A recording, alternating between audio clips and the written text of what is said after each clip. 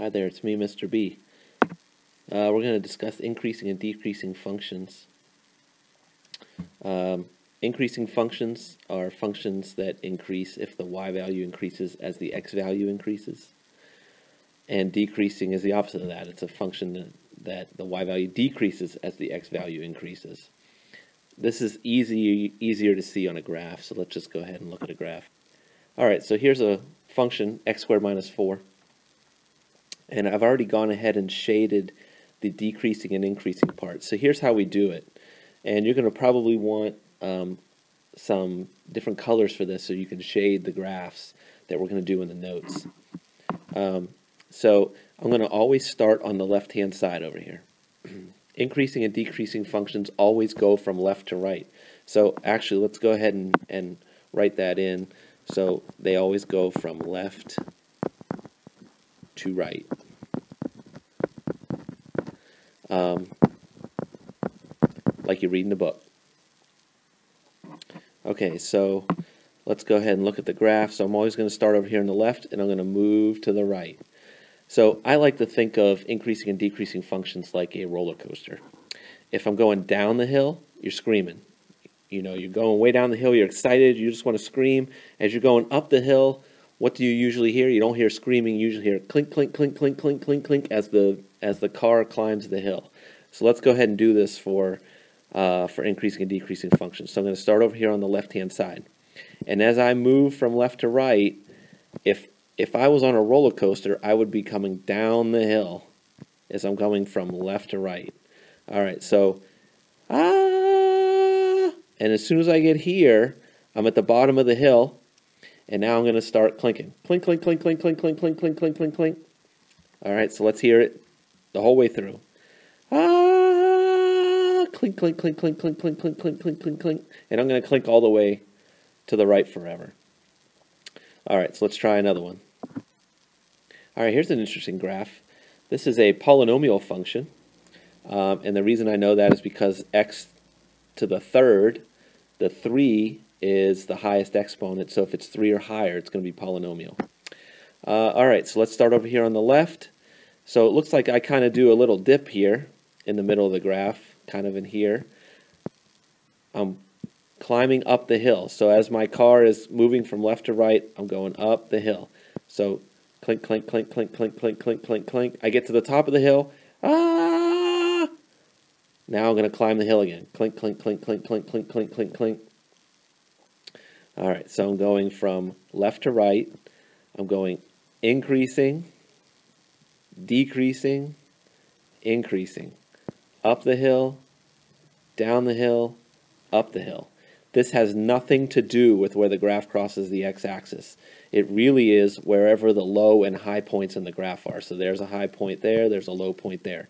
But I'm really not concerned about those y coordinates. It's the x coordinates I'm going to be concerned about. And that's why I followed my x-axis with my arrow on those uh, particular examples.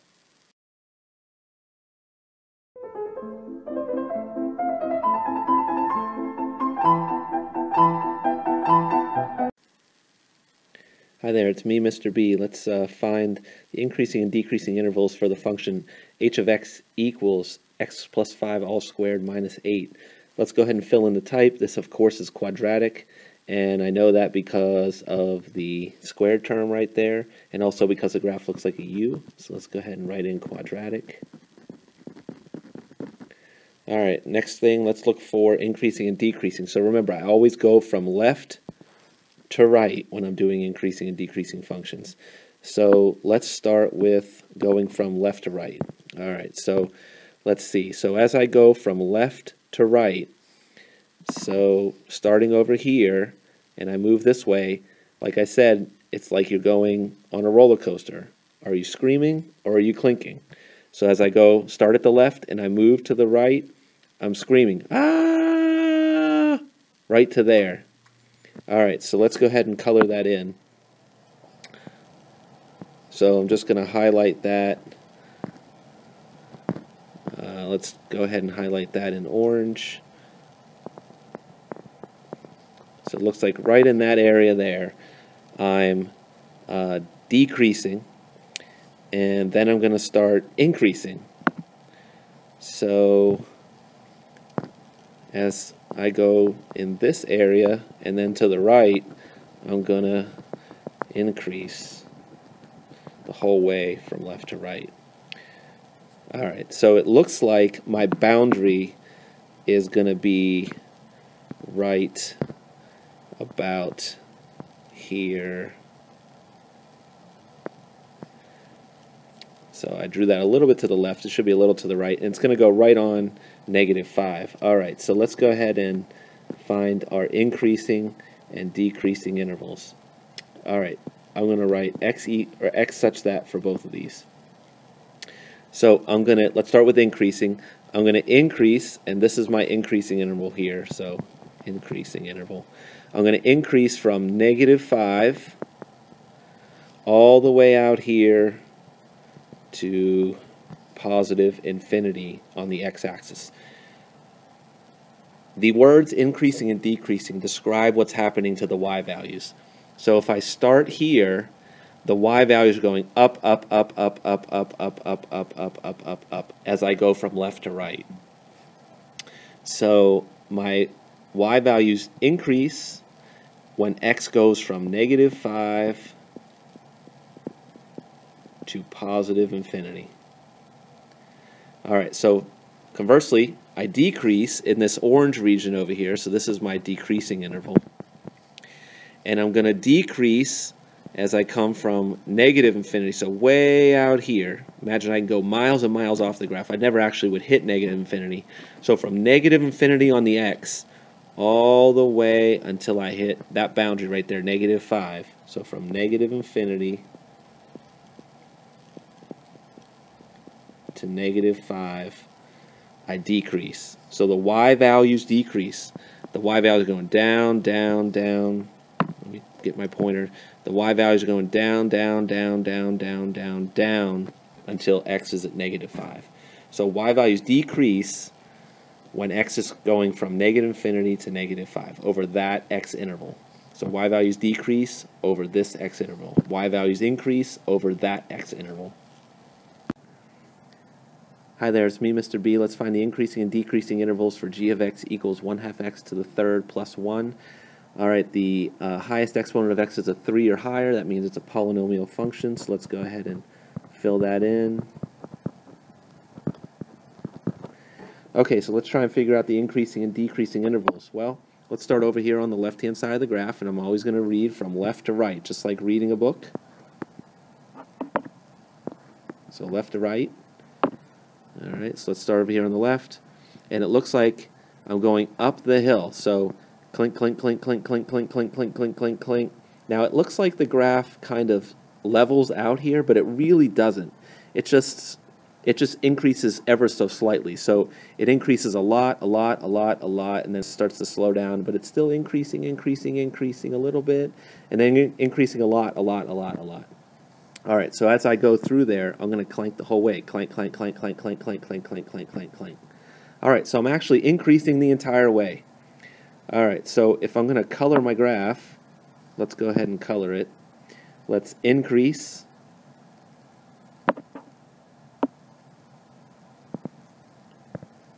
Let's increase the entire way.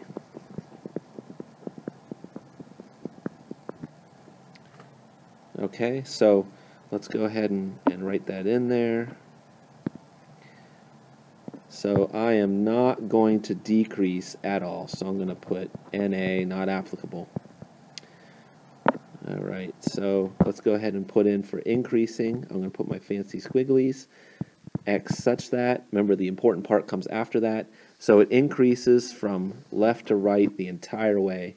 So from negative infinity to positive infinity, the y values increase. So the y values increase over the x interval of negative infinity to positive infinity. Hi there, it's me, Mr. B. Let's find the increasing and decreasing intervals for f of x equals 3 over x plus 4. Uh, first of all, let's first of all let's do the type. Um, this is a rational function, and two reasons for that. One is there's an x in the denominator. Second is the way the graph looks. It looks kind of like two exponential functions kind of stuck into the same graph. All right, so let's go ahead and find the increasing and decreasing functions. So let's start over here on the left. Remember, I'm going from left to right. Always go from left to right like you're reading a book when you're doing increasing and decreasing intervals. So it looks like I'm going down ever so slightly. Even if I start way, way, way out here on the left, I'm going down ever so slightly. And then all of a sudden, as I get to like here, it starts to really fall. So I'm going to scream from left to right. So, ah! And then it stops because this graph down here then has to transfer to this graph. Okay, so what really happens is I almost have like a break right here. And you've seen that before, those dotted lines. Those are called asymptotes. That's a vertical asymptote. So I really have kind of two separate graphs here I have to deal with. All right, so this left-hand graph over here on the left-hand side, this one, I know it decreases. All right, so let's go ahead and fill in the decreasing for, uh, portion. All right, so x such that. So from negative infinity, so from negative infinity all the way to negative 4, it tells me that I am decreasing. All right, so from negative infinity to negative 4, it decreases. Okay, so kind of envision it this way. My um, my car on the roller coaster now jumps the track. I now go from this graph all the way to this graph. So now this is kind of my starting point, this dashed line right here. So now as I move from left to right, I'm going down, down, down, down, down. So I'm screaming, so ah. Now as I get way out here to the right, I'm going down ever so slightly, but I still am going down. I still am decreasing. So it looks like what I have here and let's go ahead and color this in. It looks like what I have are two decreasing intervals. So I decrease here all the way up to negative 4. And then I also decrease over here from negative 4 on. So let's go ahead and uh, write that in. So I also decrease from negative 4 to positive infinity. So this area is from negative infinity to negative 4, and then I jump over the asymptote, and this part of the graph is from negative 4 to positive infinity. Now, um, you might say, why can't I just decrease from negative infinity to positive infinity? The reason is I don't increase or decrease in this on this dashed line at all. There's no graph there. So I can't increase or decrease at all. So I'm really kind of dealing with two separate decreasing intervals. Um, so in order to tie these two inequalities together, I can put a u next to them. Sorry about that. I can put a u next to them like this, and that means union. So it's net x such that net from negative infinity to negative 4, and, that's what the union means, net from negative 4 to positive infinity. And now I can close up the bracket and it doesn't increase at all, so I can just put not applicable there.